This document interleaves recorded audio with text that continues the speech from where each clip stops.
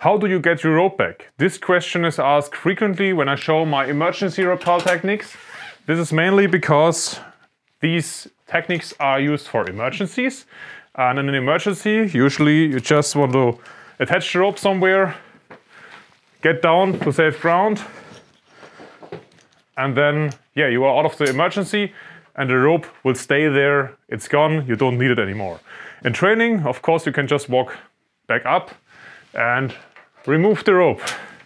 But now let's talk about some options how you can make this whole setup retreatable. At first, let's talk about the anchor. If you just attach the rope and leave it there, friction on the anchor is not a big problem.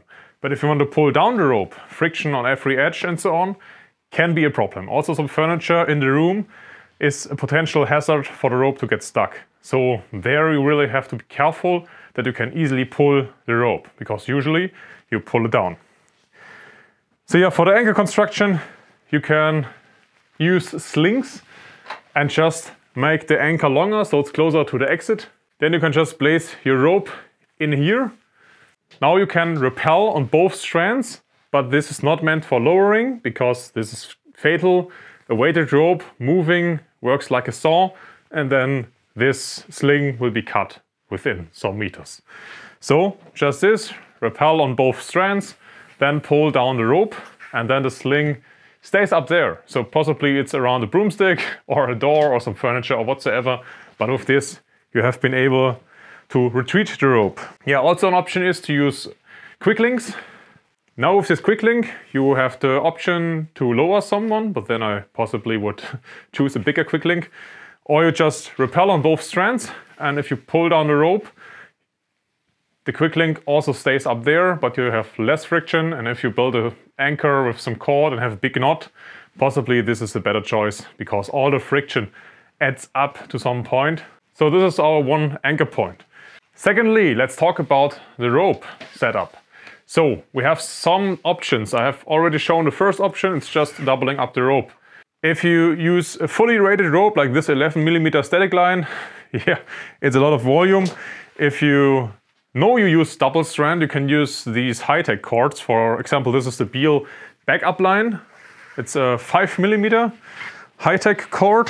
And this with uh, a Munter hitch is a super nice double strand rappel option.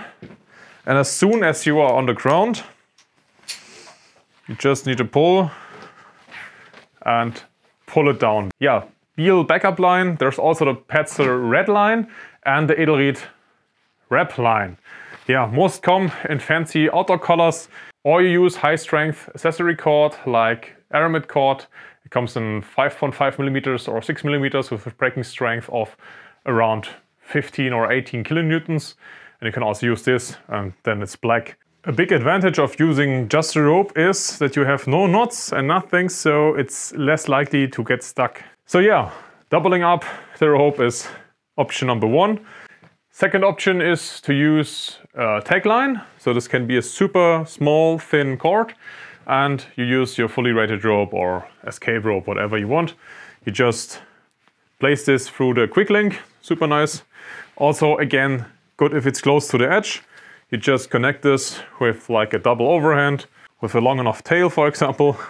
And now this double overhand gets stuck up here. You can normally rappel on your fully rated rope. And then when you are down, you can pull on the small tag line and pull the rope down. So there is somewhere the end. Yeah, this is uh, using a tag line quite nice. You have the big line to rappel on and a super compact one to pull down the rope. An obvious disadvantage of the tag line is when you pull you have a knot in the rope which can get stuck somewhere. The next option I want to show is the Beal Escaper. This is a device that can be used to retreat a rope or a single rope system. I've made a dedicated video to this some years ago. Let's just remove this sling it's still good if you use this on an anchor with a quick link or a carabiner. It's quite a fancy, cool thing. There are several videos out there about it. You have some Dyneema sling, which works almost like a, yeah, or works like a friction hitch and holds onto this rope. And you have an elastic piece which allows you to retreat this. So now you have this loop here. You can even use devices which are not made to be retreatable or just your standard single rope system. Now I just put my weight on it and it can rappel like normally on yeah on one rope. So now I'm on the ground and now there comes the nice function of this uh, thing. The friction hitch gets loosened by the elastic part in here and if you pull repeatedly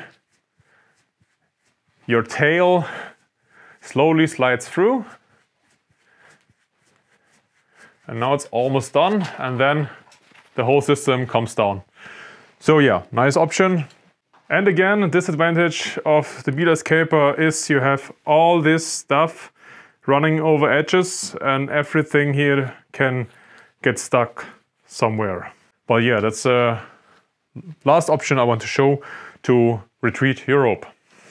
Let's do an example. I just use this door behind me as an anchor. You can also use tables or other furniture for this. Now for an attached rope, I could just sling the rope around. But since I want to be able to pull it down, I use a sling. This is a 240 centimeter sling, so super nice length. Now I'm in the next room. There's my exit. My sling ends behind this edge. I want to avoid friction, so I attach a second sling. Here I attach my screw link to have even less friction. And now my anchor point is this here. So yeah, when I'm down, I will pull the rope through this quick link and then the quick link and the two slings will stay up here.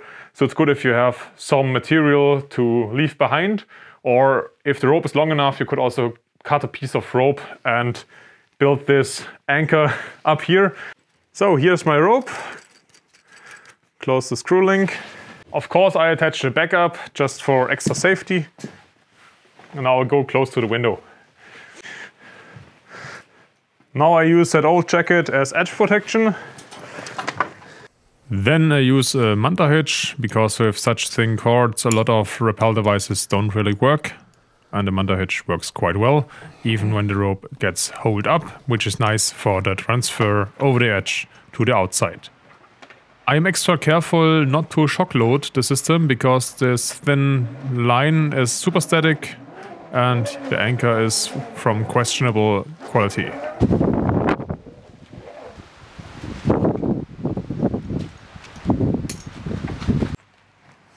Now making sure there are no tangles and no knots in the rope. And then I pull on one side.